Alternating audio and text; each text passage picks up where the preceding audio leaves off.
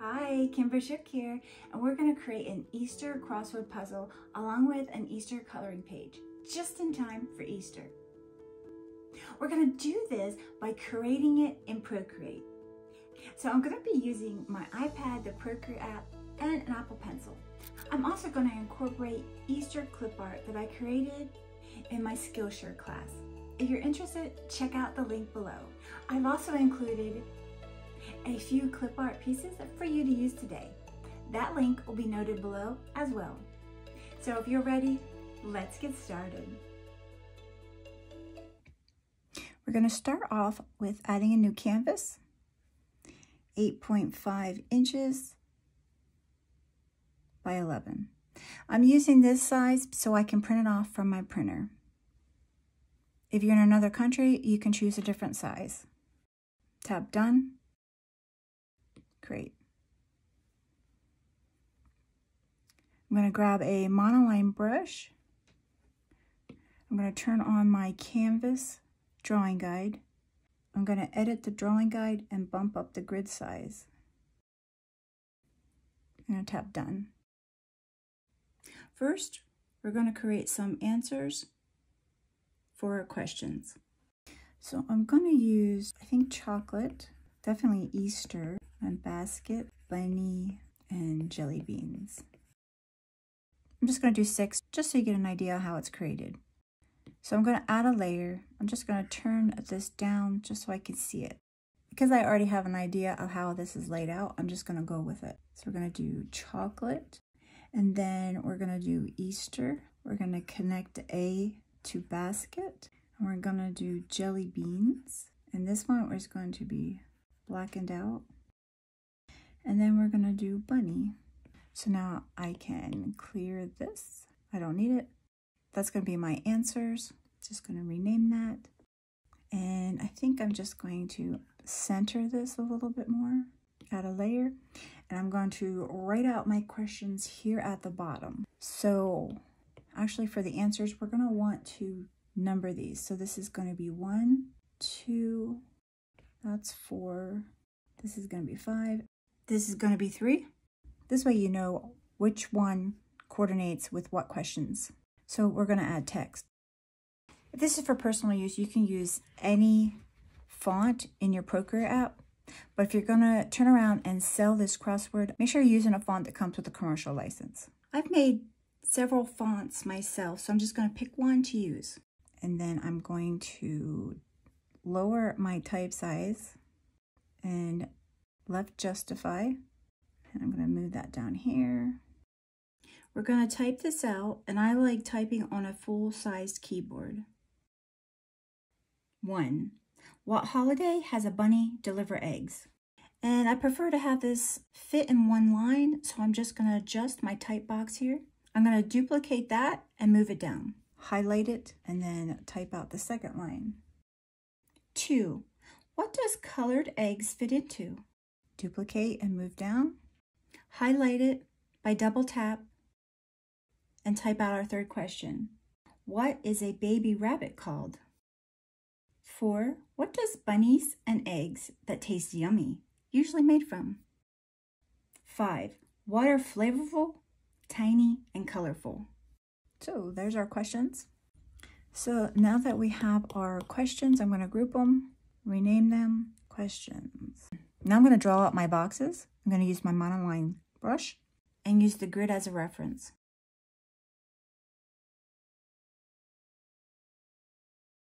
I'm going to add my numbers.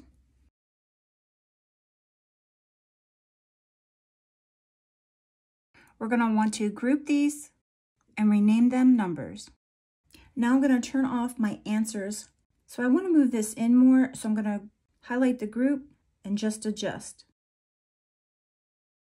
Now we're going to work on our background. I'm going to choose a light pink, add a layer above my background, and I'm going to grab the soft blend airbrush. I'm going to go to the adjustments menu, grab the liquify tool, and I'm going to twirl right, and I'm just going to move my pencil around until I get the desired look. And I'm actually going to duplicate this layer, flip it upside down, I'm going to adjust the opacity so I can get more colors throughout. And I'm going to merge it down.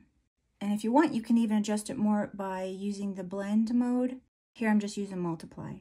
I'm going to add a layer, grab the monoline brush and white, and I'm going to draw out a rectangle and fill it with color. Make sure your snapping's on and I'm going to position it in the center so I can see my crossword puzzle. I'm just going to readjust this a little. I'm going to rename this layer crossword. I'm going to highlight that, highlight answers, as well as the numbers and reposition it all. I'm going to go back to the white rectangle. We're going to want to duplicate and alpha lock the bottom layer. And I'm going to change that to a brighter pink I'm going to two fingers right again to unalpha lock it. I'm going to grab my Gaussian blur from the adjustments menu and I'm just going to slide it up. I just want to get a slight pink outline. Now I'm going to grab all those, group them, and rename them background. Now I'm going to go to the actions menu and insert a file. I'm going to grab those freebies I mentioned earlier and I'm going to import it into my crossword puzzle. So if you're interested, the link's below. This is just a PNG outline of a bunny. You can change the color by swiping two fingers right, choosing a color, fill the layer, two fingers swipe right again, and now you can color drop it. I'm going to go back and import those eggs that I supply. I'm just repositioning them in place. So I'm adding a layer below my pink bunny, changing my color to green. I'm going to go to the Procreate organic brushes and grab swordgrass and I'm just going to run it along the bottom edge and I'm just going to move that down so it doesn't interfere with my questions and I'm just going to bump up my questions just to ensure that. I'm going to add some by my clip art and I want to go back to that layer and just erase what falls behind the crossword puzzle. This way there's no interference when it's filled out. And there you go.